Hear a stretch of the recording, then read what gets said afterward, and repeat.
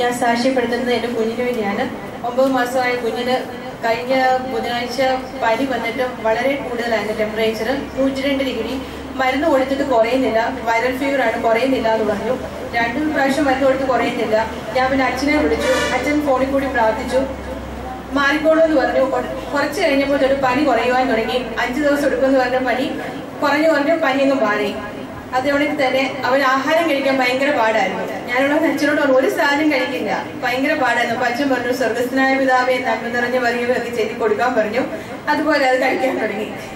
അച്ഛന്റെ പിന്നെ അതുപോലെ തന്നെ എനിക്ക് വളരെ സങ്കടപ്പെട്ട് ഞാൻ ഇവിടെ വന്ന് പ്രാർത്ഥിക്കുമ്പോൾ ഇവിടെ വന്ന് പ്രാർത്ഥിച്ചു കഴിയുമ്പോൾ എനിക്ക് മനസ്സിന് വളരെ സമാധാനം ലഭിക്കുന്നുണ്ട്.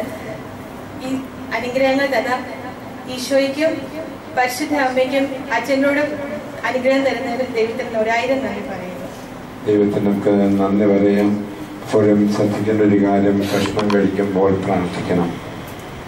അത് ഒരുപക്ഷെ നമുക്ക് ഒരു പ്രാർത്ഥന അറിഞ്ഞുകൂടായെങ്കിൽ ഒരു സ്വർഗസ്നായ പിതാവിയുടെ നന്മ നിറഞ്ഞ തൃത്വസ്വതി അത് പിതാവിന്റെ സാന്നിധ്യം ഉണ്ടാകുന്നു പുത്രനായ ഈശ്വര സാന്നിധ്യം ഉണ്ടാകുന്നു പരിശുദ്ധാനുമോദനം ഈ മൂന്ന് പ്രാർത്ഥന സ്വർഗസ്നായ പിതാവിൽ നന്മ നിറഞ്ഞ തൃത്വസ്തുതി ചൊല്ലി പ്രാർത്ഥിച്ച് ഭക്ഷണം കഴിക്കുക. ഭക്ഷണ പദാർത്ഥത്തിലൂടെ ഒരസ്വസ്ഥതയും ഉദരത്തിനോ ശരീരത്തിനോ ഉണ്ടാകുകയില്ലെന്ന് മാത്രമല്ല അത് അനുഗ്രഹമായി നല്ല ഊർജമായി മാറുകയും ചെയ്യും. അത് കുഞ്ഞുങ്ങൾക്ക് ഭക്ഷണം കൊടുക്കുമ്പോഴുമായിട്ട് നമ്മുടെ തന്നെ മേശയിൽ ഭക്ഷണം കഴിക്കുമ്പോഴാണ് വിഷബാധയോ ഭക്ഷണത്തിലൂടെ ഒരു തിന്മയോ ഒരു വയറ് കമ്പിക്കലോ അങ്ങനെ ഒരു രോഗവും ഉണ്ടാകുകയില്ല. നമുക്ക് ഭക്ഷണത്തിന് മുമ്പ് പ്രാർത്ഥന എല്ലാ ഭവനത്തിലും ഉണ്ടാകണം.